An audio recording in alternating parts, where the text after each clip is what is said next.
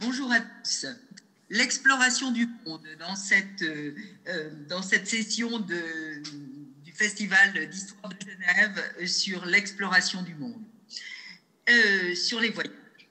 Bien sûr, il y a eu de grands voyages bien avant euh, le XVe siècle. Euh, on rappellera simplement Marco Polo à la cour du Grand Khan ou les franciscains à Karakorum, des grands voyages d'Européens. Mais enfin, il est indéniable qu'à la fin du XVe siècle, avec Christophe Colomb, ou Vasco de Gama ou Magellan, commencent les grandes expéditions maritimes qui vont donner aux Européens euh, l'accès euh, au monde, à une ouverture du monde. C'est ce que Humboldt appellera les grandes découvertes avec l'idée peut-être d'un programme euh, plus ou moins concerté, d'un quadrillage du monde, euh, d'une connaissance qui aurait été initiée évidemment en priorité par les Européens. Alors le bouclage a eu lieu au XVe siècle, mais on en fait aujourd'hui un récit très différent. Euh, si nous avons invité trois personnes qui vont vous en donner une toute autre, une toute autre idée, euh, une, un récit dans lequel la place n'est pas du tout la même pour les Européens, un récit, une histoire à parts égales, pour reprendre le beau titre de Romain Bertrand, un récit beaucoup moins triomphant, un récit qui fait place aux échecs, au ratage peut-être, euh, un récit qui est aussi euh, l'histoire pour les Européens d'un ébranlement de soi. Alors, trois historiens de grands spécialistes euh, de cette affaire-là, très différents. Romain Bertrand, directeur, vous êtes directeur d'études au Centre d'études et de recherche internationale, le CERI à Sciences Po Paris. Vous êtes spécialiste de l'histoire de l'Indonésie et de l'histoire connectée. Euh, vous avez notamment publié au Seuil, on s'en souvient, un livre qui a marqué en 2011 l'histoire à parts égales, les récits d'une rencontre entre Orient et Occident. Euh, et puis, bien sûr, beaucoup d'autres ouvrages depuis dont nous, euh, dont nous parlerons au fur et à mesure, je pense, de cette table ronde, notamment chez Verdier, il y a tout juste un an, en 2020, l'affaire Magellan qui a fait le tour de quoi? Isabelle Surin. Euh, Isabelle, vous êtes euh, professeure d'histoire euh, à l'Université de Lille 3, spécialiste de l'Afrique subsaharienne et de la colonisation. Et vous avez publié beaucoup de livres aussi, euh, bien sûr, euh, dont un livre euh, très utile pour tous les gens qui passeront notamment les concours cette année, La France et l'Afrique chez Atlante récemment. Mais le livre que je voudrais citer en priorité, que vous nous montrerez peut-être tout à l'heure, je sais que vous l'avez à côté de vous, c'est un livre qui s'appelle Dévoiler l'Afrique, publié en 2018 aux éditions de la Sorbonne, lieux et pratique de l'exploration et qui est une étude évidemment extrêmement précise et très pleine de surprises, de 43 voyages français, britanniques et allemands euh, entre 1780 et 1880. Frédéric vous, êtes, euh, vous, vous avez la chance d'être vraiment à Genève aujourd'hui. Vous êtes professeur de littérature française à l'Université de Genève, spécialiste de la littérature de voyage des 16e et 17e siècles. Vous êtes aussi spécialiste du libertinage. Euh, peut-être que nous en dirons un mot et nous verrons à quel point cela peut avoir rapport avec euh, l'exploration du monde et de quelle manière ça la colore peut-être quelquefois. donc, vous beaucoup, beaucoup euh, d'articles notamment. Hein, je citerai le, dans la, euh, bel article dans la revue du XVIIe siècle sur le voyage en Perse du siècle. Mais je voudrais euh, insister là aussi sur un ouvrage particulièrement, un ouvrage qui publié chez Drose en 2000 et qui s'appelle L'écriture du Levant à la Renaissance, enquête sur les voyageurs français dans l'Empire de Soliman. Et je pense que nous en, euh, parlerons particulièrement euh, lors de cette table ronde. Alors, euh, l'exploration du monde, pourquoi, pourquoi cette table ronde aujourd'hui pour en parler Pour nous dire à quel point le récit a pu changer. loin du récit héroïque, Romain Bertrand, que diriez-vous qui a le plus changé dans cette manière de raconter l'exploration du monde commençons par les Européens, depuis la fin du XVe siècle. comment, comment le voit-on aujourd'hui, Romain? Bonjour, bonjour à, tous et, à toutes. Euh, peut-être simplement pour commencer, faire, euh, faire écho à ce que vous venez de dire, Valérie, lorsque vous avez rappelé que l'expression, le chrononyme grande découverte, euh, qui ordonne une suite des temps de l'histoire européenne depuis le Moyen Âge jusqu'au contemporain et qui est une sorte de marqueur du saut dans la modernité de l'Europe, eh bien, ce, chrononyme de grande découverte, c'est une invention du 19e siècle et, on le trouve pour la première fois euh, exprimé sous la plume de, Humboldt. Euh, ce qui veut dire qu'en fait, les grandes découvertes, euh, c'est une histoire du 19e siècle et pas une histoire du 16e siècle. Ce qui se passe au 14e, au 15e et au 16e siècle, c'est qu'une infinité de petites, moyennes et parfois grandes expéditions pour des raisons essentiellement commerciales et parfois aussi politiques, se lance à l'assaut euh, des lointains et euh, voilà, commence à explorer euh, les côtes de Sénégambie, le golfe de Guinée, et puis au sortir du XVe siècle, donc pénètre dans, dans l'océan Indien et puis touche aux, Amériques. Donc il y a une réalité historique, c'est une myriade de voyages, d'entreprises, dont la plupart nous sont en réalité inconnus.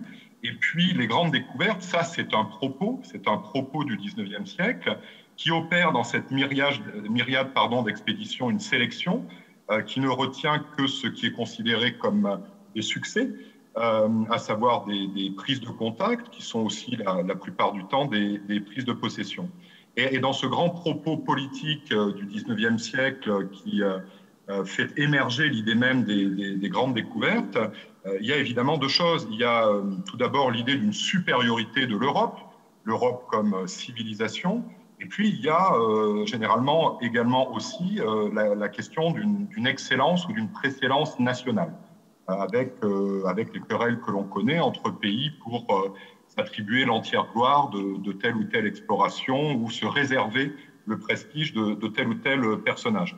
Alors, si je rappelle tout ça, c'est pour dire qu'en fait, cette histoire des grandes découvertes, qui est une histoire euh, du 19e siècle et de ce qu'était politiquement le, le, 19e siècle, euh, eh bien c'est aussi une espèce de légende des origines euh, ou de mythe des origines que s'est forgée l'Europe et que la raison pour laquelle on la revisite aujourd'hui, c'est que cette légende des origines, c'est-à-dire le nous, hein, le nous qu'elle définissait, qu'elle taillait dans, le matériau historique, eh bien c'est un nous probablement dans lequel on ne se reconnaît plus ou dans lequel il est très dur de, se reconnaître. Euh, c'était un nous euh, européen au sens euh, d'une Europe chrétienne, apoclaire, masculine essentiellement, d'ailleurs dans, les récits d'exploration généralement mis en avant. Et, si on dit ça, du coup, on, comprend déjà ce qui est en train de changer.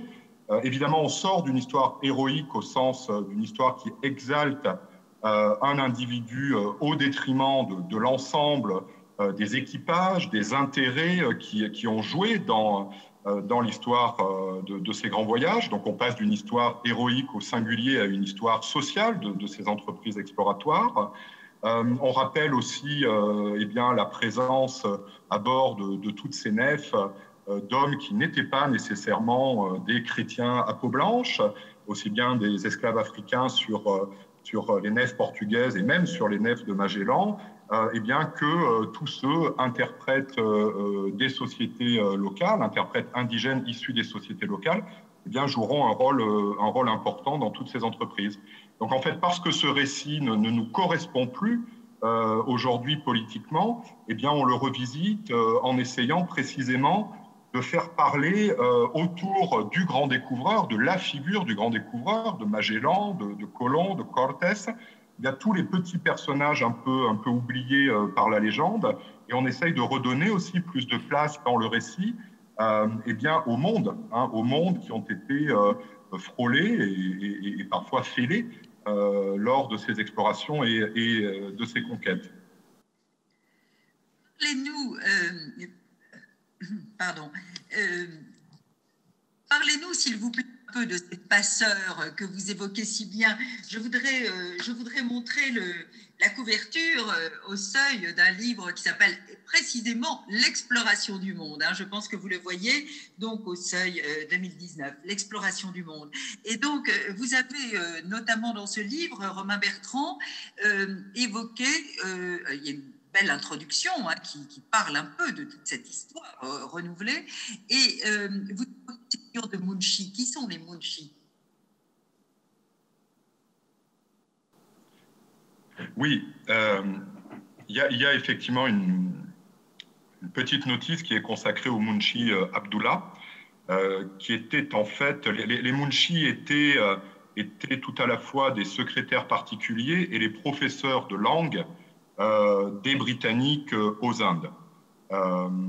et l'histoire bon, qui, moi, m'a un peu retenu, c'est celle d'un Munshi qui est célèbre parce qu'en fait, il a croisé la route de Sir Raffles, le fondateur de Singapour et la, grande figure de, l'impérialisme britannique en Asie du Sud-Est euh, dans les premières décennies du, du 19e siècle. Mais ce Munshi Abdullah, qu'on présente généralement dans l'histoire euh, impériale britannique euh, simplement comme un scribe au service des fondateurs britanniques de Singapour, eh bien l'intérêt, c'est que c'est aussi un, prosateur, c'est un homme qui a aussi laissé en langue malaise tout un ensemble de, récits et en particulier une, autobiographie. C'est la première autobiographie euh, en langue malaise, en tout cas connue sous, forme manuscrite. Donc c'est un personnage d'autant plus intéressant lorsqu'on contraste le rôle fallo ou effacé euh, qu'on lui accorde dans une histoire de la colonisation de l'Asie euh, vue du point de vue des Européens, en l'espèce des Britanniques, et puis l'homme qu'il est, euh, lorsqu'on le considère depuis ses propres écrits, avec un regard d'ailleurs souvent ironique euh, et, en tout cas décalé sur les agissements de, euh, des Britanniques, qui sont, qui sont en l'espèce ses maîtres, mais aussi un récit qui charrie toute une histoire locale. Le Munshi Abdullah est quelqu'un qui souhaite restaurer tout à la fois la royauté et la langue malaise dans leur pureté et leur grandeur antérieure à l'arrivée des, Européens. Euh, c'est quelqu'un qui peut d'ailleurs trouver dans l'impérialisme européen aussi des, choses à, imiter, euh, donc des choses à, importer pour la, progression euh, politique du monde malais. Mais c'est en tout cas un personnage intéressant parce que c'est l'exemple type de, de, ces personnages qui apparaissaient un peu en arrière-plan dans, les récits d'explorateurs, hein, les interprètes, les guides, les sherpas, les supplétifs, les boys, euh, et qui, lorsqu'on s'intéresse vraiment à eux, pour peu qu'on en ait euh, la matière euh, archivistique, eh bien très rapidement nous emmène sur des chemins qui nous éloignent d'une histoire vue et racontée simplement du point de vue des explorateurs européens. Oui, merci. Alors, évidemment, il y en a beaucoup d'autres. Hein. Vous nous citez celui-là. C'est une façon de réévaluer considérablement le, le rôle de ces acteurs prétendent, enfin oui, secondaires, qui, étaient considérés comme secondaires, et qui là euh, prennent une place absolument décisive, notamment évidemment lorsqu'il s'agit euh, euh, de, de, communiquer, de faire communiquer les, les des, civilisations entre elles. On a besoin de interprètes notamment. Je ne saurais trop recommander aussi la lecture de tout ce que vous nous racontez dans, le, dans votre récit de, voyage de Magellan et le serviteur malais, mais on ne va pas euh, raconter toutes les histoires aujourd'hui, il faut en laisser un peu pour la lecture. Euh, Isabelle, euh, Isabelle Surin, nous un peu vers l'Afrique. Les explorateurs de l'Afrique, alors eux aussi, ont, donné une, ont donné lieu à une légende héroïque, une image euh, un peu rebattu hein, de l'explorateur solitaire, celui qui se lance euh, à l'assaut euh, des grands fleuves, de, des, des, territoires totalement, totalement inconnus. alors, qui sont comment, comment les voit-on aujourd'hui euh, euh, vous, nous les, présentez beaucoup moins solitaires, souvent moins héroïques et, enfin bardés de, de, consignes, de recommandations et parfois d'ordre de mission. Alors, présentez-nous un peu, s'il vous plaît, Isabelle Surin.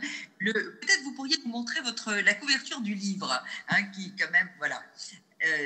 voilà, hein, le livre sur Dévoiler l'Afrique, un très beau livre. Donc, qui sont ces hommes Dire ces hommes et ces femmes, mais il n'y a peut-être pas beaucoup de femmes.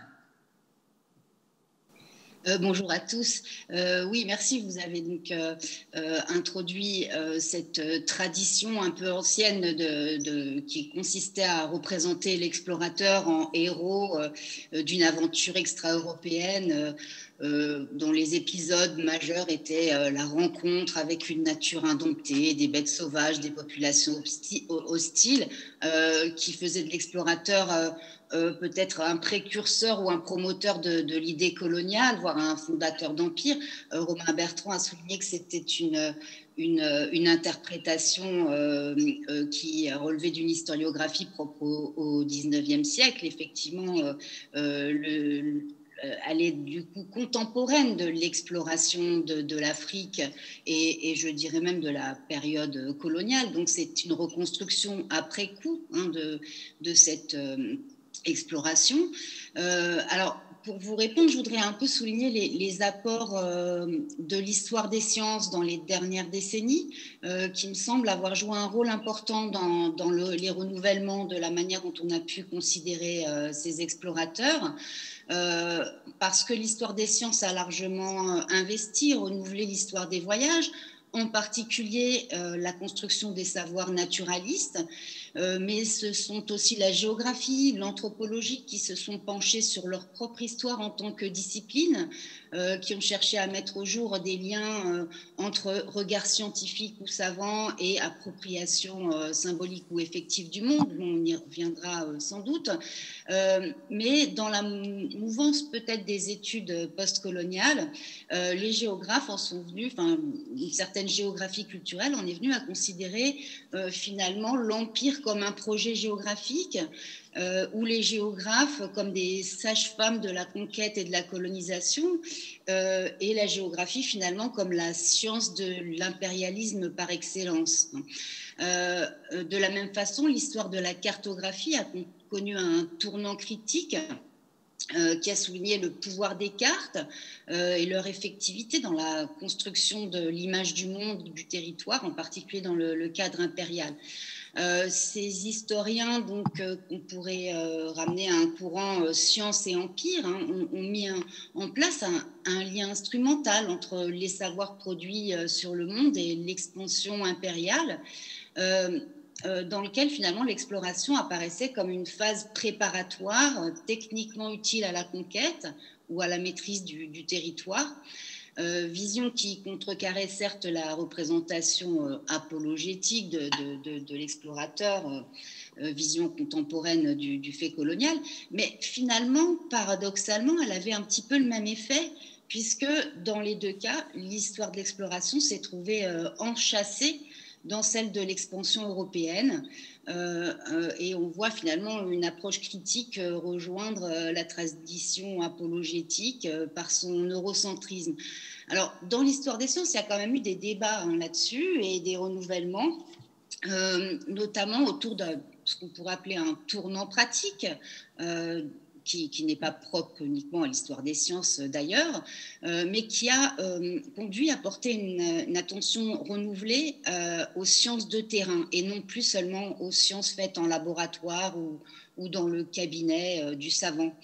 Euh, or, euh, étudier les, sciences de terrain, c'est finalement être attentif aux pratiques concrètes, euh, à, ce qui se passe sur place, sur le terrain de l'exploration, et non plus seulement dans le cabinet du savant. Euh, et qu'est-ce qui se passe sur le terrain? Eh bien là, euh, on voit euh, se dissoudre les partages entre savants et amateurs, entre les activités scientifiques et la vie quotidienne, puisque celui qui voyage est un amateur et pas, un savant, à de rares exceptions près, et que donc il est mu aussi par ses affects, par la vie quotidienne qu'il euh, qui l'anime pendant son, voyage. Euh, donc tout ça euh, modifie la façon de, faire science ou de collecter des savoirs hein, et a une incidence très importante sur, la construction de ces savoirs. cette porosité conduit aussi évidemment à donner un plus grand rôle, comme l'a dit Romain Bertrand, à tous les auxiliaires, ce qu'on a pu considérer comme des auxiliaires de l'exploration, mais qui sont bien plus que des auxiliaires, les guides, euh, et euh, j'irai plus loin, l'ensemble des sociétés euh, africaines qui sont les, les autres, hein, qui accueillent ces, voyageurs. ces sociétés ont un rôle absolument déterminant au point qu'on puisse parler d'une co-construction finalement des, savoirs entre le voyageur européen, souvent seul ou en petit nombre hein, dans, dans, la partie du 19e siècle que j'ai étudiée pour l'exploration de, de l'Afrique, cette grande Afrique occidentale notamment. Ils voyagent à un, deux ou trois, mais ils sont jamais seuls en réalité. Euh, non seulement ils ont des guides, euh, euh, des guides privilégiés, mais aussi des guides qu'ils renouvellent à chaque étape, hein, puisqu'il faut chercher des, des personnes capables de, qui connaissent euh, euh, bien le, terrain, la région. Euh, ce sont des voyageurs qui apprennent des langues sur place et qui communiquent dans des langues africaines avec leurs interlocuteurs. et les sociétés dans, dans, leur entièreté, finalement, jouent un rôle aussi très important, un rôle logistique. Ce sont elles qui nourrissent finalement ces voyageurs, qui les accueillent, qui les logent. Euh, et enfin, les chefs, euh, chefs d'État euh, jouent un rôle très important aussi par leur pouvoir d'ouvrir ou de fermer les routes. Hein. il faut donc aller les, rencontrer pour avoir la permission de passer. je pourrais y revenir avec des, des exemples plus précis. donc, euh, cet intérêt renouvelé pour les, guides euh, et tous les, intermédiaires, serviteurs, compagnons de voyage, etc. Euh, on, en, voit aussi des, usages très intéressants dans des expositions.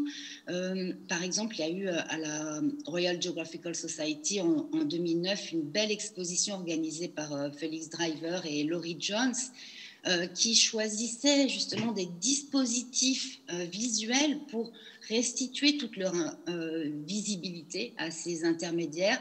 Les Sherpas, par exemple, qui étaient dans les fiches euh, des, explorateurs de, l'Himalaya, euh, voilà, représentés avec des toutes petites photographies en format photo d'identité, et eh bien dans l'exposition étaient grandis à l'échelle du mur entier, et cette manière comme ça de zoomer sur euh, ces figures euh, des guides est assez emblématique, à mon avis, de, ce nouveau regard qu'on a et qui, conduit aussi dans, notre appréhension du matériau historique à zoomer hein, pour rétablir à, l'aide d'une approche micro, micro-historienne, euh, à, finalement à, s'intéresser en particulier à des individus, euh, à des lieux euh, et à des pratiques qui sont toujours situées finalement.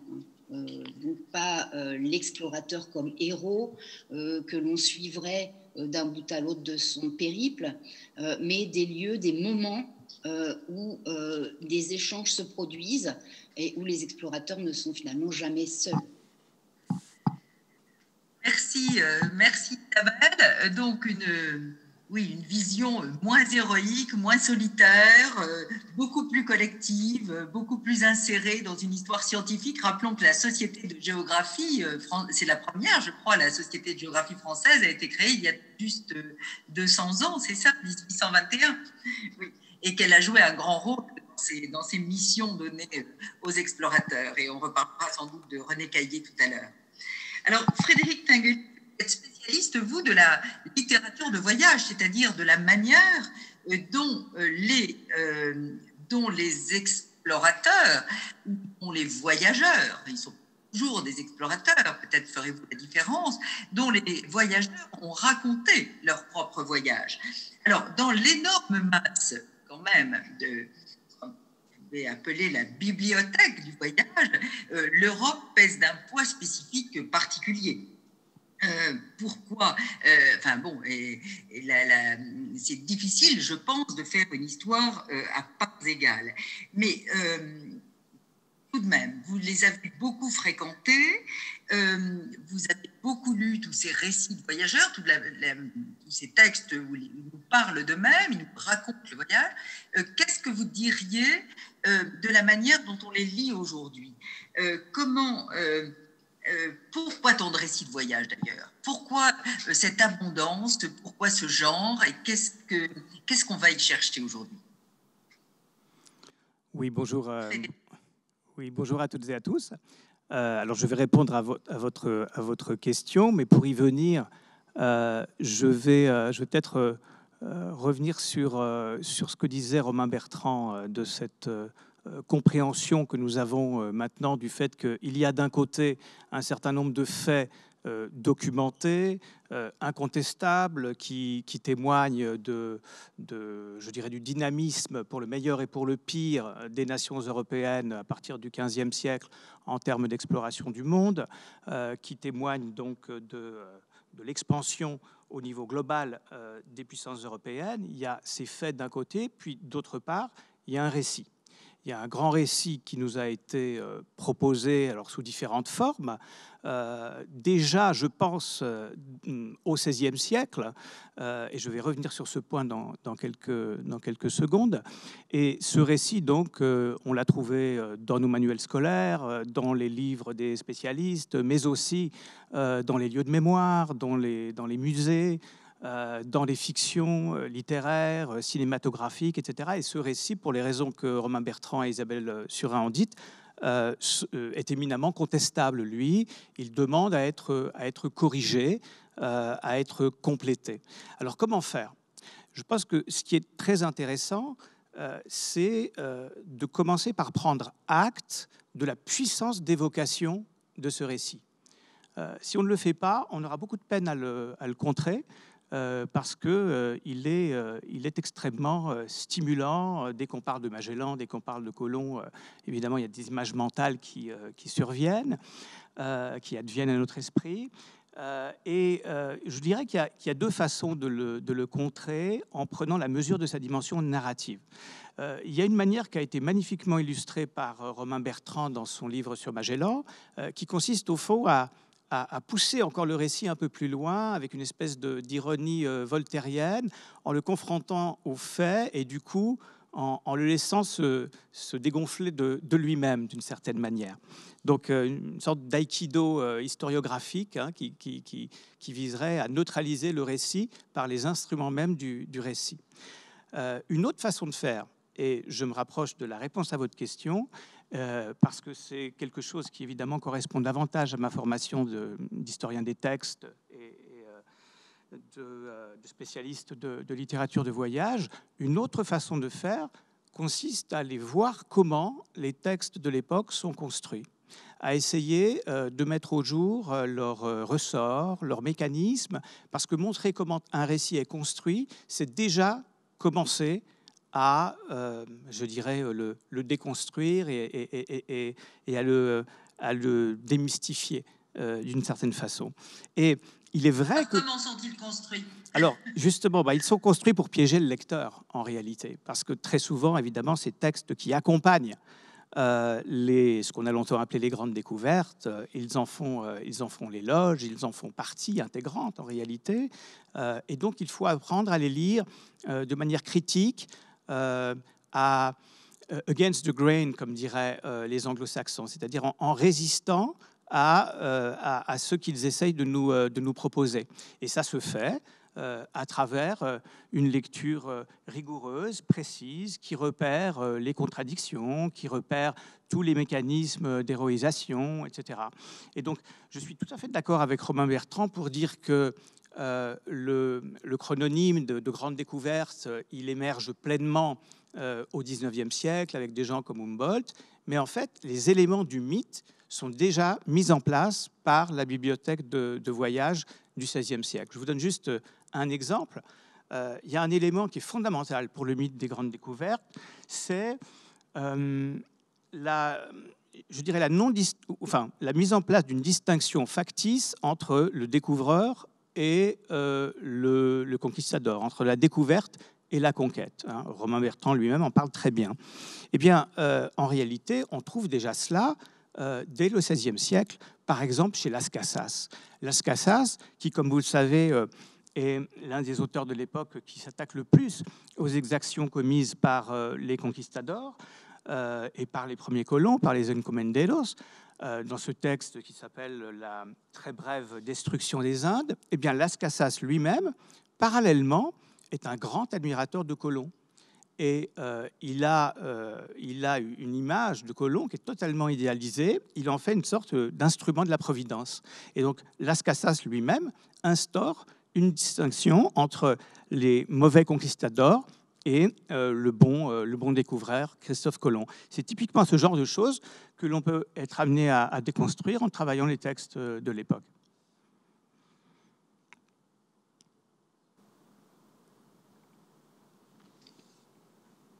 merci.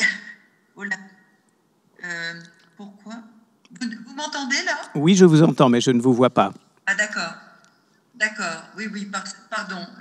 On me disait que le, micro ne fonctionnait pas, ne fonctionnait plus. Euh, merci, euh, merci Frédéric euh, de nous montrer de quelle manière, au fond, les, voyageurs eux-mêmes, en construisant leur récit, ont, construit aussi, on construit aussi leur mythe. on y reviendra sans doute. Euh, je voudrais maintenant qu'on aille un peu plus en avant euh, dans le, la manière dont, euh, dans la manière dont ces voyageurs, dont ces explorateurs ont exploré ou pas le monde. Au fond, une question qui peut se poser, c'est de savoir jusqu'à quel point on, on s'ouvre à ce que l'on découvre, ou est-ce qu'on y apporte tout ce qu'on est et qu'on peut-être quelquefois on n'y voit rien, comme aurait dit euh, Daniel Arras. Euh, alors, Romain Bertrand, euh, vous avez beaucoup fréquenté ces explorateurs. on voit lorsqu'on découvre. Est-ce qu'on y voit quelque chose et qu'est-ce qu'on voit quand on découvre? Hein, Vous avez écrit notamment le détail du monde, hein, l'art perdu de la description de la nature. Bon, qu'est-ce qu'on ce qu'on décrit, qu'est-ce qu'on veut voir, qu'est-ce qu'on cherche à voir et qu'est-ce qu'on voit? Thomas Bertrand. Oui, alors du coup, la, question, c'est peut-être euh, qu'est-ce qu'on voit quand on regarde? C'est-à-dire quand on darde sur euh, les choses, les êtres euh, naturels, en particulier, que, que l'on croise au cours de, au fil de ces voyages de découverte, euh, un regard, c'est-à-dire une, vision qui est euh, habitée déjà par une pensée. Et le cas échéant, d'ailleurs surchargé de, de spectres, c'est-à-dire chargé de, clichés, de préjugés, de, pré, de préconceptions. ce, qui est, ce, qui est, très frappant dans les, en tout cas les quelques récits de voyage, il faudrait garder d'ailleurs pour un temps cette, cette, catégorie entre guillemets, puisqu'en fait il reste à voir quand et comment précisément elle s'invente et euh, probablement, oui, dans les grandes compilations euh, de, la fin du, XVIe siècle, où on réunit des récits qui peuvent être de types très différents, qui sont parfois simplement des, routiers, c'est-à-dire les journaux de bord tenus par les, pilotes, qui peuvent être très euh, secs en termes d'information, et puis des, récits qui, au contraire, sont des récits, pour aller vite, très littéraires. alors moi, dans, les quelques récits que j'ai un peu plus fréquentés, comme celui par exemple de Pigafetta, qui nous livre la chronique la plus détaillée de l'expédition euh, de Magellan, de l'expédition de 1519-1522. Il y a plusieurs choses qui sont euh, très frappantes. Et, il, y a, la question précisément de savoir ce que, ce que voit Pigafetta au sens de ce qu'il considère comme étant vrai et, vraisemblable. et pour dire les choses de manière lapidaire, l'essentiel du récit de, Pigafetta, c'est-à-dire 90% de, de, la narration, eh c'est une narration qui s'appuie sur l'autorité de la chose vue, euh, du témoin euh, direct.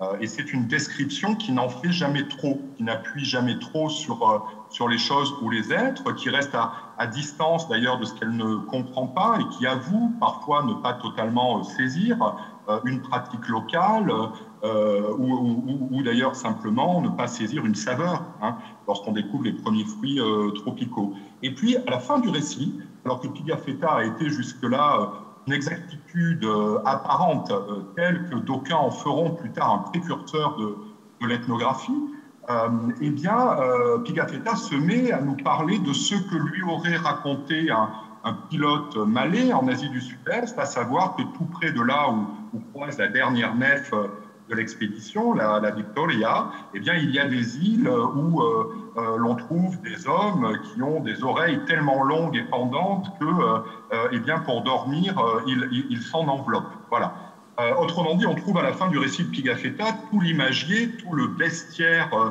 anthropologique euh, de, la fin du, Moyen Âge, qui situait des sociétés avec des, êtres tout à fait étranges aux, confins de, l'Asie. Et ce qui est intéressant, c'est de se demander du coup, mais pourquoi diable Pigafetta, qui nous a paru jusque-là un guide tout à fait exact euh, de ce qu'il voyait, euh, s'est-il senti obligé de rajouter, comme à la va-vite, euh, ces évocations qui, à nous, aujourd'hui, nous paraissent au contraire décrédibiliser le récit? Eh bien, c'est probablement que Pigafetta, au contraire, a essayé de donner à son lecteur ce que son lecteur attendait. Donc, on peut estimer que dans l'esprit de Pigafetta, eh le lectorat d'un récit de, voyage ou d'une chronique d'expédition dans les années 1520 en Europe était constitué de gens qui s'attendaient à ce qu'on leur parle de merveille. Et Pigafetta a comme un remords, un remords final, où il se dit, eh bien, il faut que, je leur parle absolument de, ces choses euh, extraordinaires qui existent là-bas. Euh, voilà, donc il y a une économie interne de, ces textes qui est effectivement euh, assez compliquée. Et avant même de, savoir s'ils ont pu ou pas comprendre véritablement ce qui se passait dans les lieux dans lesquels, en général, ils n'ont fait escale que pour quelques jours ou quelques semaines, euh, donc en fait, la question trouve assez rapidement sa réponse. Ils n'ont évidemment, euh, bien sûr, la plupart du temps, pas pu percevoir tous les tenants et les aboutissants euh, des situations politiques locales. Ils ont été pris dans des jeux factionnels qui leur échappaient. C'est d'ailleurs l'une des raisons de, la mort de Magellan, qui se trouve pris dans une petite rivalité politique picrocolline qu'il ne comprend pas, mais qui lui coûtera la vie. Euh, ils n'ont pas pu percevoir des réalités sociales complexes, ils n'avaient pas, ne serait-ce qu'idée de l'épaisseur historique de, ces sociétés euh, euh, traversées. mais en tout cas, dans la façon dont ils rendent compte de leur périple et donc dans ce qu'ils nous livrent de leur regard, eh bien, on, voit un regard qui est chargé non seulement de préjugés, mais d'attentes aussi par, rapport à, par rapport à un lectorat. Voilà, donc je crois qu'on retrouve aussi ce, qui vient d'être dit, à savoir que ces récits sont bel et bien des textes qui sont produits dans des circonstances et à des fins particulières, et, comme tous les textes, ils, visent aussi euh, l'imaginaire d'un lecteur. D'où effectivement leur, prodigieuse puissance d'évocation euh, et, la façon dont littérairement ils, parviennent à, je crois que le terme qui a été utilisé, c'est à nous piéger, euh, en tout cas à nous, à nous intéresser euh, émotionnellement à, leur narration.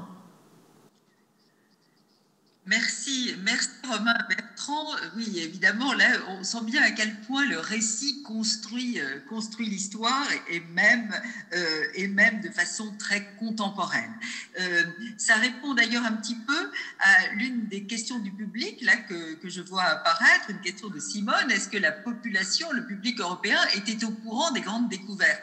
Eh bien, bien entendu, sûrement pas tout le monde, mais il y avait des lecteurs et ce que, ce que vous nous dites, Romain, euh, c'est que euh, certains de ces récits, ça c'est quand même extraordinaire, sont faits pour plaire au lecteur, euh, ce qui est pour lui donner ce qu'il a envie de lire, ce qui est quand même évidemment à la fois qui fait écho à des choses qu'on reproche aujourd'hui quelquefois. Hein. on donne, on reproche aux médias de donner au public ce qu'il attend, mais vous nous dites que Pigafetta il y a 400 ans était capable d'en faire autant.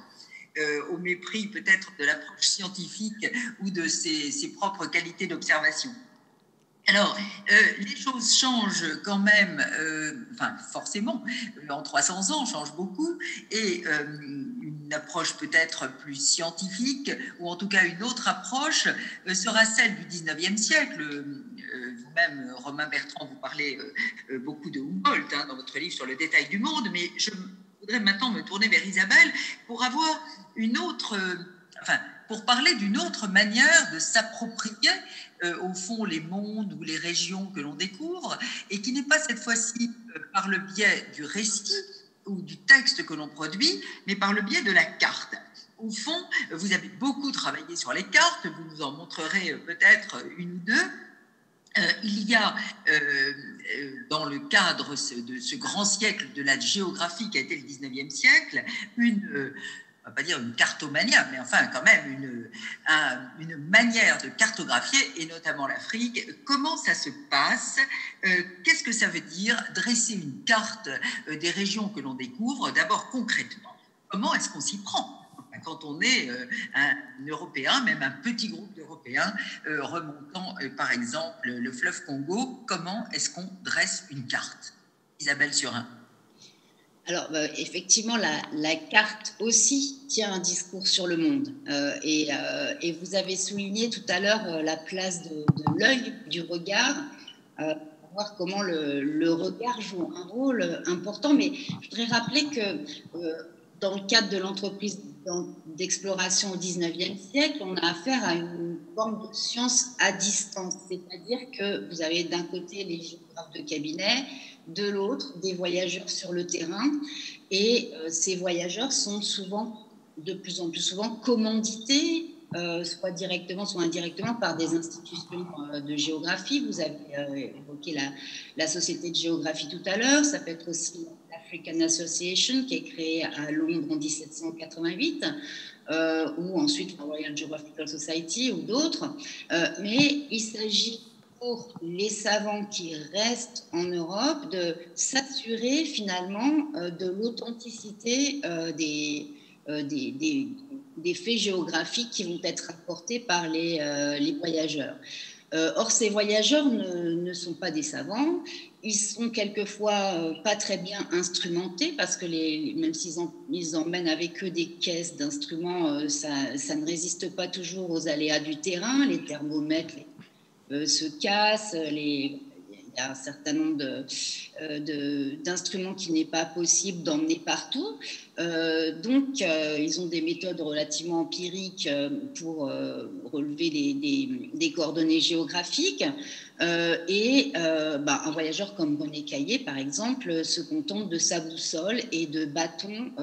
Il, réédite finalement l'usage du gnomon hein, des, des, géographes grecs, le bâton dont on peut mesurer l'angle, que fait l'ombre euh, euh, en fonction de, enfin, à midi au soleil, qui permet de donner une idée de la latitude. Bon, c'est très rudimentaire, mais Caillé va par exemple systématiquement enregistrer ses temps de trajet, ses, directions, de, les directions de, de ces, de ces, de ces itinéraires et en indiquant chaque euh, modification d'itinéraire euh, et euh, va collecter comme ça toute une liste de, micro-tronçons d'itinéraire qu'il va rapporter et à partir duquel Edme François Jomard, secrétaire de la Société de géographie, va essayer de tracer la carte. Euh, on, en vient finalement à un moment euh, où euh, les géographes européens ne font plus confiance qu'aux voyageurs européens. Je voudrais citer rapidement un, petit extrait d'un bilan que fait Jomard justement en 1824. il nous dit voilà, il y a à peu près 20 ou 25 Européens qui ont arpenté l'Afrique. Si on euh, si on, mesure l'étendue de toutes ces lignes itinéraires euh, euh, parcourues en une quarantaine d'années, ça correspond à à peu près 2200 milles géographiques. et je cite, admettons que chaque observateur a constamment embrassé de l'œil un horizon de 3000 de diamètre, et c'est beaucoup, voilà au plus une surface de 28 000 lieues carrés. Or, qu'est-ce que c'est que cette superficie comparativement à celle de l'Afrique? Évalué à 1400 lieues carrés. Ainsi, à peine l'Europe connaît-elle la cinquantième partie de l'Afrique intérieure. Hors de là, presque tout est confusion ou incertitude, et tout géographe de bonne foi en fera l'aveu. Euh, il y a donc une disqualification de savoir euh, euh, obtenus auparavant par dire comme on disait, c'est-à-dire collectés auprès de, de, de, voyageurs marchands arabes qui faisaient donc le, commerce transsaharien. on ne se satisfait plus de cela. Il faut que, des, voyageurs européens aillent voir sur place et on, s'amuse comme Jomar à calculer euh, la surface de l'Afrique vue par un œil européen, ce qui, montre l'importance de l'œil. Euh, alors, qu'est-ce que ça donne euh, si on regarde une, carte comme celle que dresse justement Jomar à partir des, itinéraires de, René Caillé Voilà, si vous voyez la carte, ça nous donne finalement une vision très très linéaire euh, des, territoires parcourus. Hein. On voit ces itinéraires finalement très fragiles, comme des, fils hein, tendus euh, euh, dans le vide. Hein. Et, tout ce qui est autour ben, n'est pas décrit au-delà de ce qu'a pu voir le voyageur depuis son itinéraire, comme une montagne à l'horizon, ou ici un lac qui s'étend, dont on ne sait pas très bien jusqu'où il se prolonge. Donc voilà. C'est un GPS, ça ressemble un peu à un GPS. Oui, et puis c'est un matériau euh, relativement pauvre, hein, euh, finalement. Hein. Alors, euh, si je peux montrer, si j'ai le temps de montrer une deuxième carte, pour montrer une petite évolution aussi avec des travaux ultérieurs. Ici, on est 20 ans plus tard avec la, carte. Ah, je ne sais pas si ça a marché, mon partage. Pardon, là, je. Oui, je sais plus si. Je ne vois pas si je partage bien mon. Oui, oui, c'est bon. Bon. Oui, oui. Euh, alors, oui, par contre, moi, je ne le vois pas. Euh, alors, on voit. Oui, oui. Euh, voilà, oui. Donc, avec cette carte d'Heinrich Barth, qui est un savant allemand qui participe à une, expédition anglaise et qui est le seul survivant de, européen, en tout cas de cette euh, de ce voyage. Vous avez en rouge la ligne euh, parcourue par l'explorateur, euh, où il fait pas mal de, détours et de retours. Bon.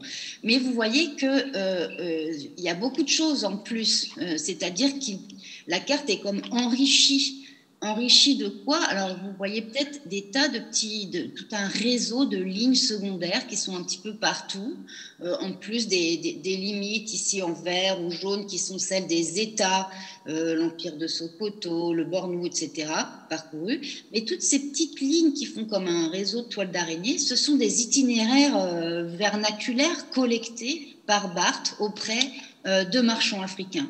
Et les marchands africains sont vraiment sa, première source d'information. Euh, c'est ce qui lui permet d'étendre euh, son savoir bien au-delà de son propre itinéraire.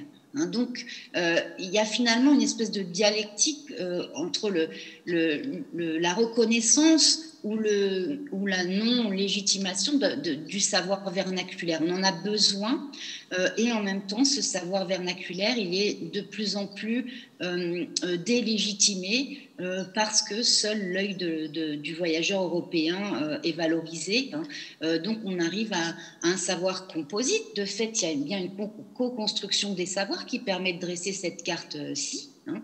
Euh, Mais elle a été dressée, pardon Isabelle, elle a été dressée à quelle date celle-ci? Euh, alors, le, voyage de, Barthes s'étend de 1849 à 54, non 55, euh, et c'est au retour le, géographe August Petermann qui a dressé cette, cette carte. oui, c'est ça. Mais elle est faite, elle est, elle est faite en Europe au retour. Voilà, exactement. Les, cartes sont faites au retour. Il y a, les, voyageurs sur place, à cette époque-là, ne dressent pas eux-mêmes des cartes, et d'ailleurs, ça ne leur est pas demandé, hein, mais ils doivent apporter les matériaux permettant d'élaborer la carte. Oui, des matériaux de toutes sortes, qui peuvent être des récits, des mesures, des témoignages. Des, listes d'itinéraires. Euh, des listes, d'accord. Bon, merci beaucoup pour cette euh, évocation euh, très concrète Pardon, voilà, peut-être. Oui, merci beaucoup. Euh, donc cet œil européen hein, qui, va se traduire par des, cartes et euh, venir meubler selon la belle expression que vous avez beaucoup contribué à, peut-être même inventer, Isabelle, venir combler les blancs de la carte, hein, les blancs de la carte de l'Afrique. Frédéric euh, donc, euh, vous travaillez, vous, sur le récit, mais euh, là aussi, qu'est-ce que rapporte le récit d'une certaine réalité? Je pense, par exemple, à ce récit de l'ambassade d'Aramon à la cour de Soliman, et qu'il l'a finalement amené jusqu'en Perse, jusqu'à Tabriz. Alors, que voit-il Aramon Que voit-il de la Perse que, nous en rapporte-t-il Comment, euh, que voit-il quand il euh, découvre ce monde euh, qui était quand même largement inconnu? Alors, ce qui, est, ce qui est frappant dans le cas des, voyageurs qui accompagnent Aramon, mais c'est aussi valable pour les, voyageurs qui se rendent en Amérique, c'est une, sorte de dialectique entre le déjà dit, et euh, l'expérience visuelle, l'expérience de, la nouveauté, de ce qui n'était pas encore euh, connu. Euh, et, cela renvoie non seulement à la, volonté, comme en parlait Romain Bertrand tout à l'heure, de donner au lecteur ce qu'il est en droit d'attendre, c'est-à-dire de, ne pas le décevoir en lui proposant les, les merveilles auxquelles il s'attendait. Cela renvoie aussi à une sorte de, aux, limites d'une démarche cognitive qui est toujours, euh, qui est toujours tâtonnante. Euh, alors, ça peut se manifester de différentes façons. Je vais peut-être vous donner un exemple pour, euh, pour l'Empire ottoman et, un autre exemple pour, pour le Nouveau Monde. l'une des, l'un des phénomènes les plus intéressants à analyser, y compris textuellement dans ces récits et dans ces descriptions, ce sont les dispositifs analogiques, c'est-à-dire l'ensemble de, de comparaisons ou de métaphores que le voyageur va mettre en place euh, pour comprendre et pour euh, donner à voir les réalités euh, qu'il a sous les yeux. Alors, par exemple, le turc, on va essayer de le situer et de le neutraliser d'une certaine façon cognitivement en le mettant en relation tantôt avec les sites dont parlait Hérodote dans l'Antiquité, avec les Romains puisque euh, on repère un certain nombre de similitudes entre euh, l'efficacité, notamment de la puissance militaire de l'Empire ottoman et euh, l'efficacité des, légions romaines. Et, donc on va petit à petit convoquer toute une série d'altérités qui vont permettre de, situer, de mieux cerner celle qu'on a, qu'on a sous les yeux. ça, c'est une stratégie qui est vraiment récurrente dans le discours sur les Turcs, mais aussi euh, sur les Persans, effectivement, à la Renaissance et encore au XVIIe siècle. Euh, si on se tourne maintenant euh, vers, vers l'Amérique, vers le Nouveau Monde, alors là, évidemment, le, le, choc est encore plus grand parce qu'on se trouve face à une faune, face à une flore dont on n'avait absolument aucune idée. Et donc, le, premier réflexe, c'est effectivement d'aller chercher dans le monde que l'on connaît, dans le monde qui est aussi celui du lecteur, euh, des points de repère euh, familiers. Euh, l'exemple le plus, le plus beau, sans doute, de ce, de ce type de, de, processus, ce sont les descriptions du tapir. Parce que même s'il y a des tapirs en Asie du Sud-Est, en fait, la plupart des voyageurs qui arrivent en Amérique n'ont jamais vu de, de, de tapir avant cela. Et donc, comment parler du tapir? Comment le décrire? Comment, lorsque vous n'avez pas euh, nécessairement des, talents euh, de dessinateur, comment donner à voir le tapir euh, pour des lecteurs européens? Alors on va, on va essayer de, de, là aussi de cerner le tapir et d'une certaine façon, on va en faire un monstre. L'une des premières expressions qui apparaît dans les textes français sur le tapir, c'est l'expression d'âne vache. Donc on va, on va qualifier le tapir d'âne vache. Et on va le décrire comme une espèce d'hybride, d'être composite entre l'âne et la vache. Et lorsqu'on euh, analyse l'évolution de ce genre de description, eh bien, on se rend compte qu'en fait, à partir euh, de descriptions qui, ramenaient totalement l'altérité du tapir à des choses déjà connues, eh bien, on va aller vers des choses plus fines qui vont ménager une part de spécificité à cet animal jusqu'à ce que finalement on soit capable de le décrire sans avoir recours à euh, des comparants euh, familiers. Mais qu'il s'agisse du, tapir ou qu'il s'agisse des, Turcs ou des Persans, c'est le même type de, de, dialectique au fond entre le déjà connu et le jamais vu qui se met en place. Et c'est le, le genre de choses évidemment que lorsqu'on est formé à l'analyse des textes, on, aime à décortiquer. Et ce sont des choses aussi qui, dans le cas du tapir, ce n'est pas le cas, mais dans le cas du turc, ça l'est, qui ne sont pas neutres sur le plan des, jugements de valeur, sur un plan euh, axiologique. Parce qu'évidemment, euh, mettre quelqu'un en, rapport avec les sites, hein, les sites qui sont une forme d'altérité, chez Hérodote, euh, d'altérité radicale, ça n'est pas le même geste que de mettre quelqu'un en rapport avec les Romains ou euh, avec euh, les Macédoniens, etc. Donc toutes ces analogies, elles, euh, elles n'ont pas simplement une valeur, disons, épistémique, une valeur de connaissance, hein, elles ont aussi une valeur de jugement. Elles apportent une, une coloration axiologique, en fait, au, discours des voyageurs. voilà ce qu'on peut dire des stratégies cognitives qui sont mobilisées euh, face, euh, face à la différence. Et je pense qu'on peut trouver le même type de mécanisme dans la cartographie aussi, dans la représentation cartographique des espaces, où on négocie petit à petit une sorte de, moyen terme entre les cartes dont, on, dispose déjà euh, et les représentations visuelles qu'on a déjà et la nouveauté des territoires qu'on découvre. Merci Frédéric. Il y a des questions, notamment sur les cartes, et je pense que là, on pourrait euh, les faire intervenir maintenant. Euh, euh, beaucoup de questions sur les cartes. On demande, Isabelle, par exemple, euh, si les noms de lieux donnés par les explorateurs euh, sont euh, plus liés à ce qu'ils voient qu'à ce dont ils se souviennent. Ça va un peu dans le sens de ce que nous disait Frédéric tout de suite. Ou alors, une question aussi sur la photographie. Est-ce que la photographie a beaucoup changé la manière, enfin, la photographie comme un œil augmenté, pourrait-on dire aujourd'hui, est venue la cartographie et a contribué à la faire évoluer Isabelle, peut-être pourriez-vous répondre maintenant à cette question. Alors, sur la toponymie, les noms de lieux, euh, il y, a, un souci de, recueillir les noms de lieux dans les langues vernaculaires, ce qui pose problème, par exemple, pour le, cours du Niger, puisqu'il euh, n'est pas appelé euh, du même nom sur tout puisque ce ne sont pas les mêmes populations qui habitent tout au long du, du Niger à un endroit, par exemple.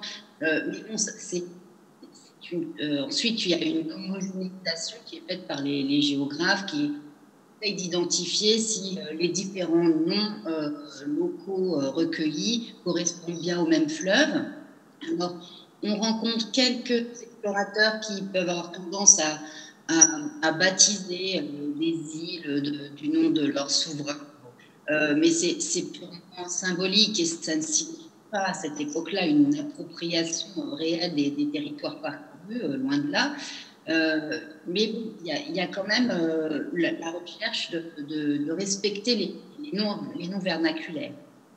Quant à la photographie, elle intervient très tardivement dans cette histoire.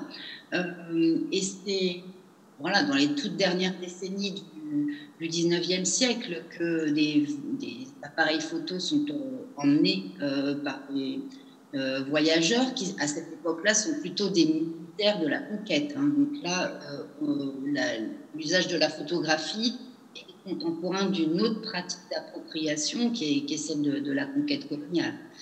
alors, elle joue un rôle, oui, notamment la, photographie à visée anthropologique, où on fait beaucoup des, gens euh, assez de profil euh, pour pouvoir euh, mesurer euh, l'angle facial ou des choses comme ça, ou identifier l'humain. Bon, mais là, on est dans une autre logique que, celle des explorateurs de, la première moitié du 19e siècle. Mais sur les paysages? Bah, alors, le fleuve, ou sur est-ce que ça? À la, la scientificité d'une certaine représentation cartographique ou est-ce que sont vraiment des techniques différentes? Alors, ce, qui, ce, que rapportent les explorateurs finalement avant la photographie, ça peut être des croquis qui vont servir à, élaborer des gravures qui vont illustrer le récit. Plus tard, effectivement, avoir des gravures d'après-photographie. Euh, mais il faut savoir que ces photographies, par exemple, Stanley a fait des photographies euh, dans son exploration du Congo. Euh, les graveurs, ensuite, pouvaient utiliser sans vergogne plusieurs photographies et faire une espèce de montage ne pas respecter les, les, contextes ou les localisations des, des, clichés initiaux. il s'agissait de donner une idée et certaines gravures pouvaient représenter une forêt tropicale à partir euh, d'une image euh, euh, conçue au, Brésil pour la, forêt de l'Afrique. Donc il y a une circulation des images qui recherche pas la fidélité absolue au paysage et au contexte locaux. Hein. La, gravure, c'est euh, toute une, euh, à, sa propre histoire. Euh, la gravure de presse dans le, les journaux des voyages qui fleurissent à partir des années 1860 réutilise finalement des, paysages empruntés ailleurs hein, et ne cherche pas vraiment la fidélité à l'image originelle. Oui. Donc finalement, dans la carte aussi, euh, c'est plutôt l'itinéraire qui compte, ouvrir des itinéraires, assurer le, la, leur, euh, leur, euh, comment dire, leur fiabilité et le, qualité ou la description des terrains autour ou de la forêt plutôt que, plutôt que de la description vraiment. Bah, l'agenda proposé par les géographes de cabinet, c'était des listes assez longues de consignes euh, il fallait voilà, euh, euh, ben, éventuellement atteindre les, un certain nombre de fleuves, remonter les sources, déterminer les bassins fluviaux, essayer d'établir des jonctions entre les, fleuves, repérer dans quel sens ils coulaient. Mon Park, par exemple, a été celui qui a fait savoir que l'hiver coulait vers l'est et non pas vers l'ouest, comme le croire. Bon, donc toute une reconstruction de la géographie autour de, l'hydrographie et de la topographie, hein, les bassins fluviaux, mais aussi euh, collecter euh, des informations sur la, pluviométrie, les températures, euh, les, paysages végétaux, la présence de tel ou tel palmier. mais, mais l'ouverture d'itinéraires euh, pas imaginer qu'un que itinéraire parcouru ouvre, euh, ouvre une voie. Euh, le voyageur suivant pourra très bien ne pas pouvoir passer par le, même itinéraire parce que les conditions géopolitiques locales auront changé et il n'aura plus le droit de, de, parcourir le même itinéraire. Donc, c'est pas une fois pour toutes. C'est pas parce qu'un premier voyageur est passé par là que c'est la voie est ouverte. Hmm. Merci. Isabelle Surin.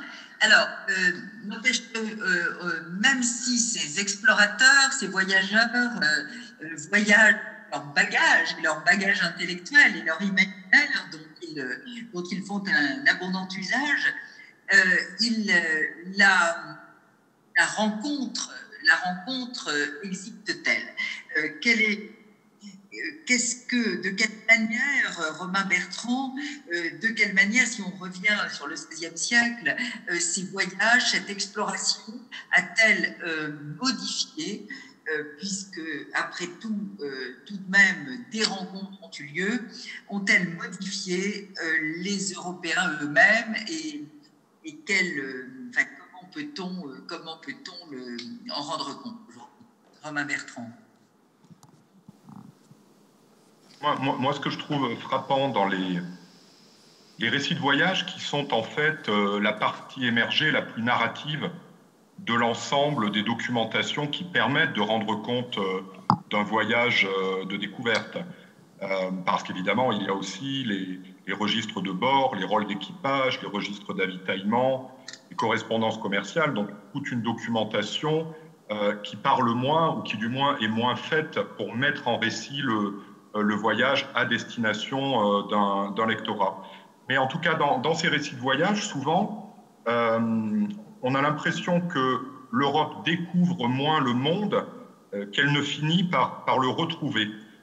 Parce que la plupart, évidemment, de, ces récits organisent, on, pourrait dire, l'héroïsme collectif de, l'expédition, non plus seulement l'héroïsme du, grand découvreur, euh, au moyen d'un certain nombre de scènes qui sont des scènes euh, primitivistes du premier contact, euh, où ce qui se jette à l'assaut du monde, eh bien, c'est une Europe parée de, tout son savoir, de, sa, de toutes ses connaissances, et des équipages qui parviennent, après évidemment un périple complexe, tortueux, dangereux, dans des lieux qui jusque-là auraient ignoré le monde serait resté déconnecté, euh, n'aurait pas participé pleinement à la marche de l'histoire. Donc euh, il y a souvent une scénographie du premier contact où, euh, où eh bien, tout simplement l'Européen civilisé découvre des sociétés qui sont, elles, en état de, barbarie ou, de sauvagerie. Et ce qui est intéressant, c'est qu'en fait, cette mise en scène du, premier contact qui donne le, beau rôle à l'Europe, souvent elle se grippe dans, les récits eux-mêmes. Euh, et je vous en donne un exemple très rapide avec un, moi, un récit qui m'intéresse depuis longtemps et sur lequel je, retravaille beaucoup en ce moment. C'est le récit de l'expédition des frères Jean et Raoul Parmentier jusqu'à Sumatra en 1529. C'est le, premier euh, euh, récit qui documente l'arrivée de navigateurs français, en l'espèce normand, en, Asie du Sud-Est. Et, on a de, cette expédition un, récit rédigé par le pilote de, l'un des vaisseaux, qui s'appelle Pierre Crignon, puisqu'en fait les frères Parmentier mourront peu après avoir touché à, Sumatra. Et Crignon raconte l'arrivée à Sumatra et raconte que euh, le capitaine de l'expédition, Jean Parmentier, par l'entremise d'un interprète, euh, un marin normand qui, nous dit-il, connaissait quelques mots de malais, ce qui est tout de même tout à fait étonnant, un certain Pierre Masson, euh, eh bien, se rend à terre et décide de, discuter euh, avec le grand Maulana euh, de la ville, c'est-à-dire euh, l'équivalent de la plus haute autorité musulmane locale. Donc on a dans, ce récit du voyage des frères Parmentier à Sumatra plusieurs pages qui nous décrivent un dialogue, une technicité théologique effarante entre Parmentier, donc le, capitaine normand, et l'ouléma de, de le petit sultanat de Tikou, sur la côte occidentale de Sumatra, et on y évoque la question euh, de la virginité de Marie, euh, la légende donc, du péché originel, euh, on, y parle du, statut de prophète de Jésus, etc. et là, en fait, toute la scénographie des Européens, en l'espèce les Français, qui arriveraient dans, un monde déconnecté de, la marche de l'histoire s'effondre. On se rend compte que les érudits religieux musulmans locaux, évidemment, connaissent parfaitement le christianisme, Jésus y est un prophète, Nabi Issa, euh, la Vierge est connue en monde musulman, euh, Mariam, euh, et, là, ces récits, en fait, d'une certaine manière, commencent à, se, à, se, craqueler ou à se fissurer.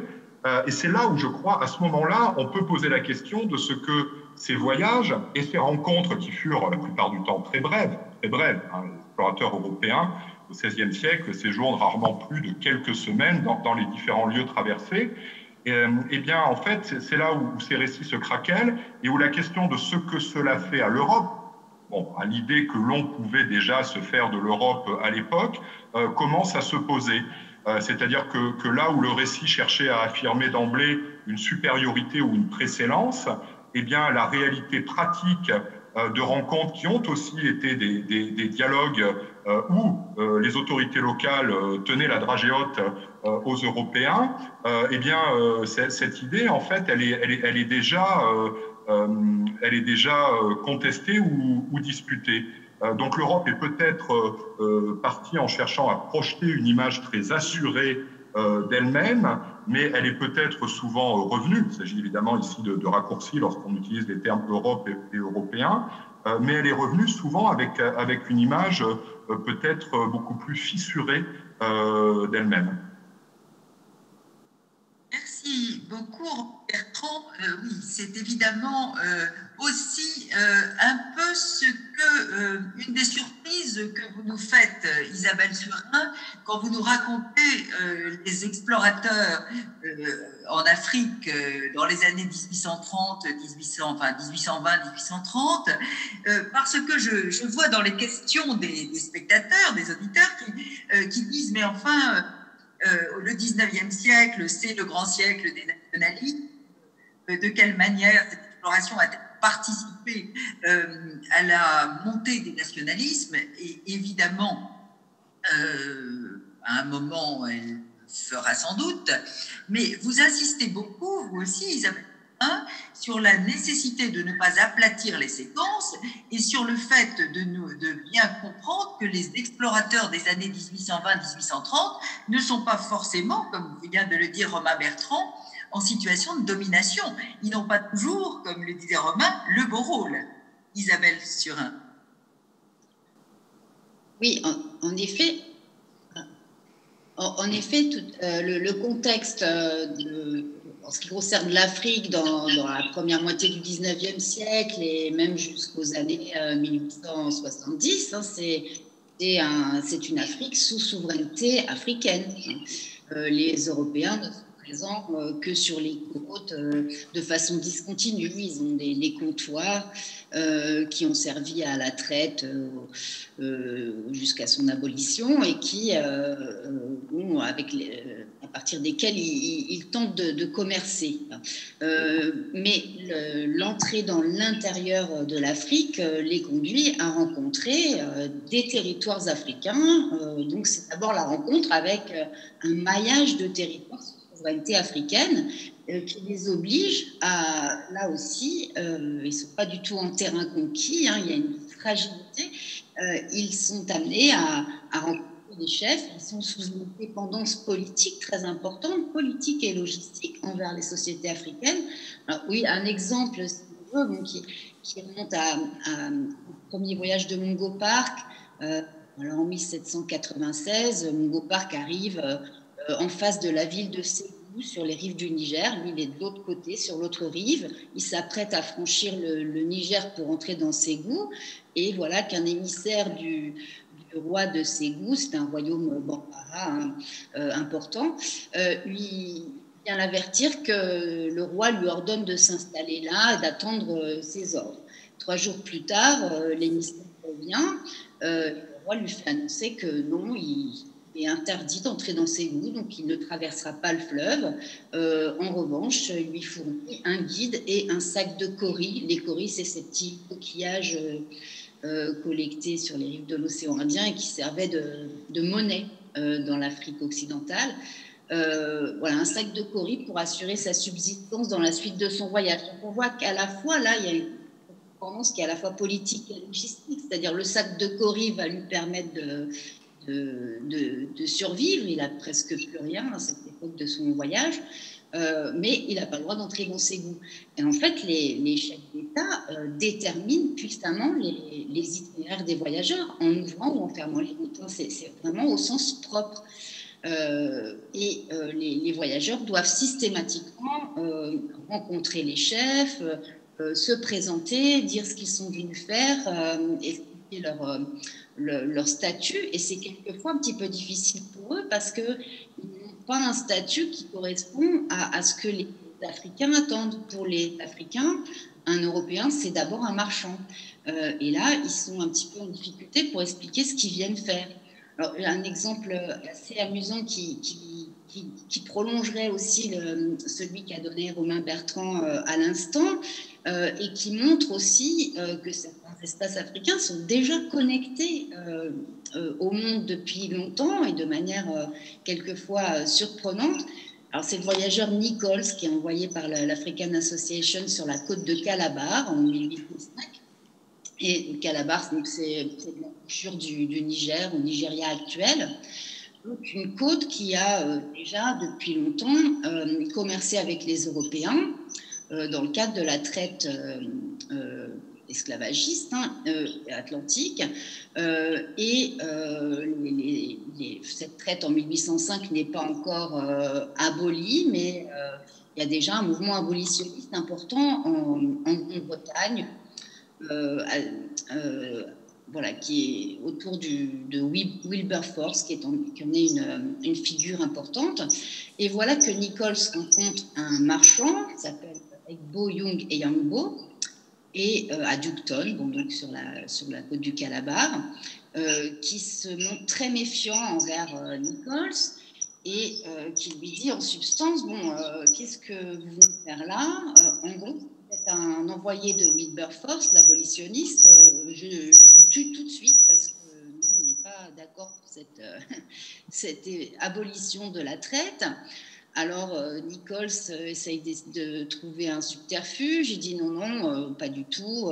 je viens en mission pour observer les moyens de trouver d'autres objets à commercer, les essences de bois qui sont présentes dans la région, qui peuvent nous intéresser. Mais bon, le, Egbo Yangbo n'est pas du tout convaincu par cette réponse. Finalement, euh, Nichols lui dit, voilà, en fait, je suis venu voir le pays, décrire les animaux, les oiseaux, les poissons, les plantes, et euh, je veux écrire un grand livre à ce sujet. Et là, le marchand, très satisfait, euh, lui dit Ah, mais alors, c'est comme Cook, mais j'ai des, livres de Cook, moi, chez moi. Donc, d'accord, si c'est pour ça que vous êtes venu, je veux bien vous accompagner dans l'intérieur et, vous montrer le chemin. Bon, stupéfaction de, de Nichols, qui ne pouvait pas du tout imaginer que voilà un, marchand sur la côte de Calabar, un marchand africain, aurait des, livres de Cook dans, dans sa bibliothèque. Euh, et qui prenait donc à, contre-pied toutes les représentations préalables qu'on pouvait avoir de, l'Afrique en Angleterre, et qui montre aussi comment finalement les savoirs circulent dans cet espace en dehors des Européens et en dehors de ces voyageurs. Merci beaucoup, Isabelle. Il est très important de ne pas aplatir les séquences, de ne pas montrer, comme vous le dites, euh, que l'exploration, de bien montrer, comme vous le dites au contraire, que l'exploration n'est pas l'acte inaugural de la colonisation et que la, chronologie est très importante entre les années 1830 et 1880. Donc, des Européens un peu moins triomphalistes euh, qu'on ne les dépeint quelquefois, euh, tant mieux. que diriez-vous Frédéric Tinguely, vous qui avez lu tellement de récits euh, de, cette, euh, de ce point-là euh, Qu'expriment-ils comme doute? Qu'est-ce que le voyage leur, leur fait en quelque sorte? Quels sont-ils sont-ils mis en doute sur eux-mêmes voient où Frédéric Tinguely. Oui, alors il me paraît tout à fait indéniable que, disons, l'exploration euh, européenne, euh, dont on parle depuis déjà quelques, quelques instants, et la littérature de voyage qui l'a accompagnée, ont euh, produit des, effets de pensée, des effets de, mise en crise des certitudes, d'ébranlement, de décentrement. au, cours, au cours des siècles qui vont du, du, du 16e au 18e. Alors, quand on pense euh, décentrement pour ces siècles-là, on a toujours euh, une triade qui vient à l'esprit, qui n'est pas une triade de voyageurs. On pense à Montaigne et au fameux essai euh, des cannibales, où des Brésiliens vont opérer la critique de la société européenne. On pense aussi aux lettres persanes de, Montesquieu. Et on pense généralement également au, supplément au voyage de Bougainville euh, de Diderot. Euh, et c'est tout à fait juste, mais il ne faudrait pas tomber dans le, dans le travers ou dans l'erreur qui consisterait à croire que ces textes littéraires ou philosophiques se sont simplement emparés d'un matériau brut rapporté par les voyageurs pour euh, le, faire, le faire travailler et à partir de ce matériau véritablement penser comme si le voyageur n'en avait pas été capable. En réalité, lorsqu'on lit de près les textes de voyage, on s'aperçoit qu'il y a quantité de, dispositifs de relativisation, de décentrement, qui témoignent déjà euh, d'un ébranlement. Alors je ne dis pas qu'il s'agit de la majorité euh, du corpus, de la majorité des textes, ces textes sont peut-être minoritaires, mais ils existent et les effets euh, qu'ils ont induits intellectuellement donc en Occident sont, sont importants. Je vais peut-être vous donner rapidement euh, deux exemples. L'un qui, qui m'est particulièrement cher parce qu'il s'agit d'un voyageur qui est, parti de Genève, un genevois d'adoption, Jean de Léry, qui au, milieu du XVIe siècle se rend au Brésil et qui euh, va euh, séjourner quelque temps euh, sur, les, sur les bords de la baie de Guanabara, qui est la baie où, s'élève aujourd'hui la ville de Rio.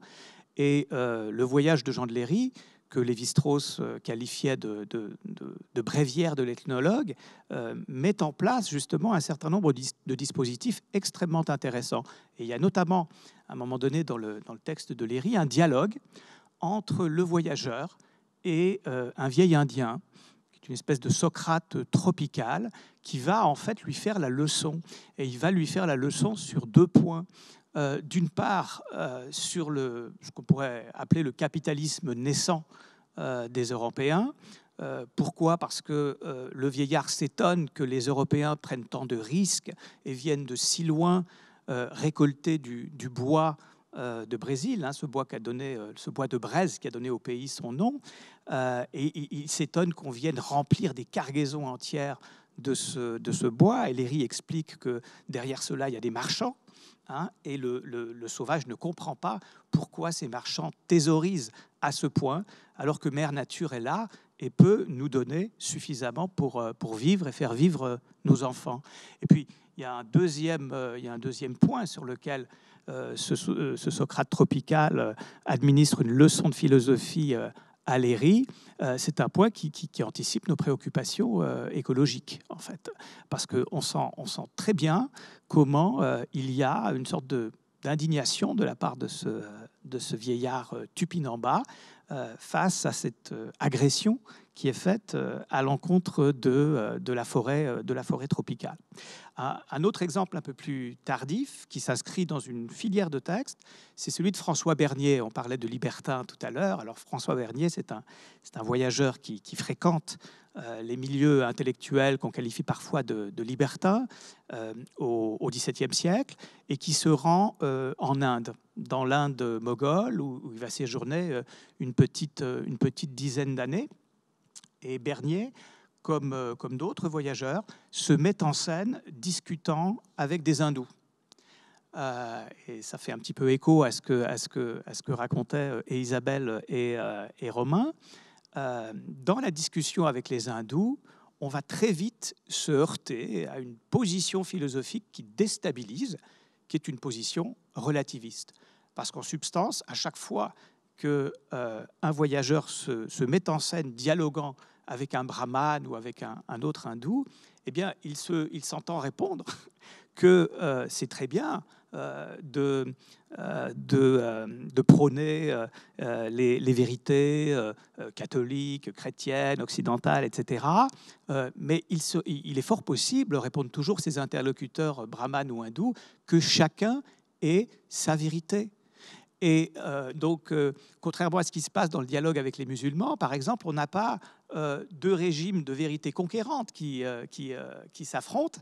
Mais les hindous vont dire oui, peut-être que vous avez raison, mais vous avez raison pour vous. Hein, et ça, va pas, ça ne va pas m'empêcher de continuer à, penser comme je pense. Donc là, on touche à quelque chose qu'on qualifierait aujourd'hui de, relativisme culturel, etc. Et, et c'est une véritable découverte pour, pour, ces, pour ces voyageurs. Il est certain que euh, dans la philosophie euh, grecque, on avait déjà, et chez les sophistes et chez les sceptiques, des éléments qui allaient dans ce sens, mais ça n'est pas la même chose que de trouver ça dans ces livres et que de se situer évidemment dans une situation d'interaction où l'on essaie de convaincre hein, et de voir le, philosophe nu euh, vous répondre ceci. Donc là, évidemment, il y a des choses qui sont très puissantes en termes d'effet de pensée. Merci Frédéric. Au fond, vous diriez que l'exploration du monde, ça a mené plutôt au relativisme ou à, l'universalisme? Ben, en tout cas, à une, sorte d'affrontement de, de, entre, les, entre les deux positions.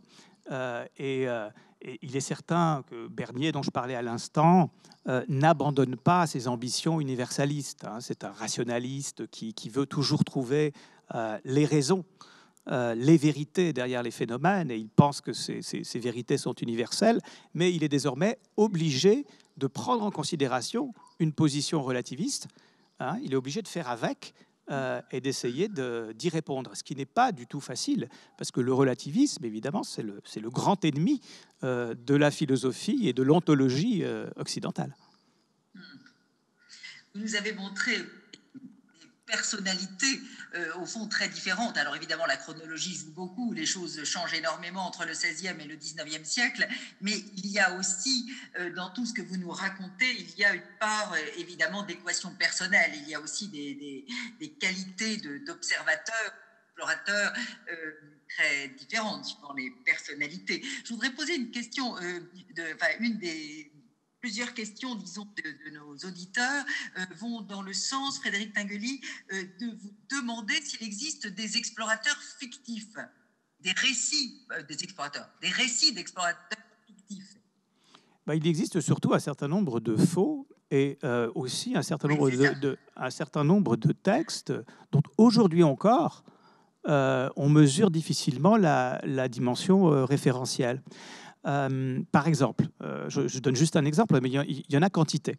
Euh, il y a dans, dans le grand récit que l'on propose des relations entre la France et le Brésil, il y a un moment inaugural qui est celui de la découverte, entre guillemets, du Brésil par un voyageur qui s'appelle Gonville, Pommier de Gonville. Et on a longtemps, on a lu ce, texte qui raconte en fait euh, des premiers contacts, hein, selon la, scénographie dont parlait euh, Romain euh, tout à l'heure, avec des Indiens du sud du Brésil. On a longtemps lu ce texte avec une espèce de, candeur toute, toute, naïve. mais depuis quelques années, un certain nombre d'éléments conduisent à penser qu'il s'agit d'un faux forgé, alors pour des raisons que je n'ai pas ici le temps d'expliquer, de, mais forgé au XVIIe siècle. Alors même que euh, on a commémoré euh, l'arrivée de Gonville euh, au sud de Brésil, alors même qu'on a érigé une statue pour, pour célébrer cet exploit, etc. Donc, je ne sais pas si ça répond en partie à la question qui, qui, était posée. Oui, oui, sans doute. Mais là, on a un explorateur dont on ne sait pas s'il s'agit d'un vrai ou d'un faux. C'est vertigineux. Alors, si on vous laisse euh, le mot de la fin, peut-être à chacun d'entre vous pour 30 euh, secondes. Euh, Romain Bertrand, diriez-vous qu'on a exploré le monde?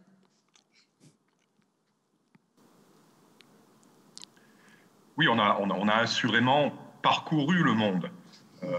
on l'a écrit, décrit, cartographié, plus tard photographié. Euh, mais évidemment, chemin faisant, c'est l'idée même du monde, de ce qui fait monde, quoi, qui s'est trouvé euh, euh, modifié. Et, dans, tout ce qu'on a dit, ce, que, moi je retiens, ou en tout cas ce qui me frappe à chaque fois, c'est comment, souvent partis bardés de, certitudes, les Européens sont revenus de ces voyages, de ces rencontres, souvent d'ailleurs brèves et violentes, euh, avec une sorte de blessure. Parce que là, on a parlé des, récits de voyage, mais on avait évoqué tout à l'heure aussi Bartolomé de las Casas.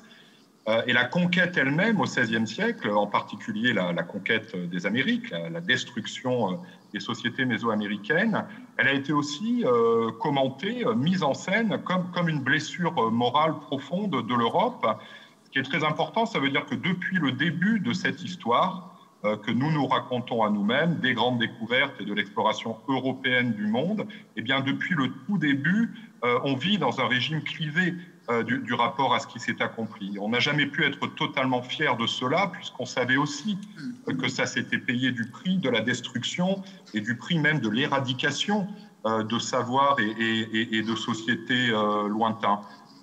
donc en fait, l'exploration du monde, derrière le vernis de, la, fierté, euh, proclamé, euh, revendiqué, il, y a toujours quelque chose comme une blessure, comme l'idée même que on n'a pas été complètement à la hauteur de ce que euh, l'on voulait se prouver à soi-même. Et, le mot de la fin, c'est en fait. Merci Romain. Isabelle, Isabelle, un mot de la fin?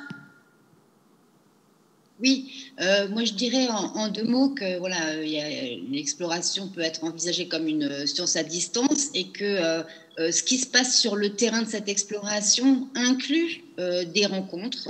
moi, j'ai décrit comme des rencontres, mais qu'en revanche, les, les, savoirs ethnographiques liés à ces rencontres se perdent en route lorsque l'on revient. ils sont en quelque sorte intransmissibles et la science géographique qui cherche à finalement standardiser le savoir pour bâtir les cartes se contente euh, d'un savoir euh, euh, voilà, qui, est transmissible en carte et, qui évacue tout, l'humain de, cette rencontre. Donc la réception appauvrit finalement le savoir collecté, je dirais. Bien, merci beaucoup pour ces, pour ces conclusions très en nuances. Frédéric Tinguely à Genève, voulez-vous avoir le mot de la fin de, depuis Genève? Alors écoutez, euh, bon, euh, moi, je voulais juste mettre en avant cette, idée d'exploration intérieure, hein, d'exploration de, soi. Et au fond, quand on lit ces textes euh, avec soin, on s'aperçoit qu'ils parlent toujours de l'ici autant que, que de l'ailleurs. et donc plaider un petit peu pour, pour une lecture vraiment attentive aux aspérités des, des, textes et une lecture qui ne soit pas naïve. Maintenant, le mot de la fin, je ne sais pas si c'est à moi qu'il appartient de conclure, mais j'aimerais beaucoup vous remercier euh, tous les trois d'avoir euh, participé à, cette table ronde, d'avoir euh, accepté de, vous livrer à ce, jeu à distance. On aurait vraiment préféré vous accueillir en chair et en os sur ce plateau, où du coup j'aurais été moins seul. mais, voilà, le, festival vous remercie vraiment de, tout cœur pour votre participation. Merci pour votre accueil. Oui, oui, on viendra l'année prochaine, avec plaisir, avec plaisir. merci merci à tous les trois. Merci pour cette vision, très, cette exploration très en nuance et qui, je crois, a contribué à faire bouger un peu les lignes. Euh, beaucoup, euh, j'ai essayé de rendre compte de, plus, beaucoup des questions qui ont été posées. Il en reste d'autres, bien sûr. Je renvoie au livre de nos trois intervenants qui répondront à beaucoup de vos curiosités. Mais euh, le sujet est tellement immense qu'il faudrait plus de temps, bien sûr. Merci en tout cas pour cette heure euh, et demie euh, avec vous. Au revoir. Au revoir. Au revoir et merci Valérie. Au revoir. Au revoir et merci à tous. Merci à tous.